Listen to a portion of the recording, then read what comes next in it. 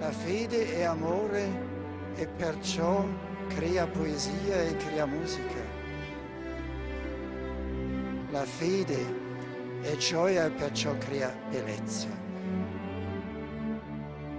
Le cattedrali non sono monumenti medievali, ma case di vita dove siamo a casa, incontriamo Dio, ci incontriamo uno l'altro.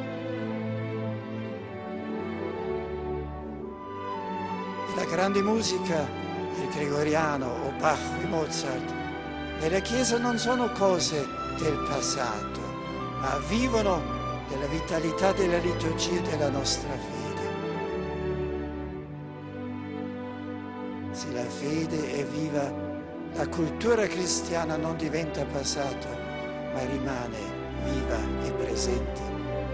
E se la fede è viva, anche oggi possiamo rispondere all'imperativo che si ripete sempre di nuovo nei salmi, cantate al Signore un cantico nuovo.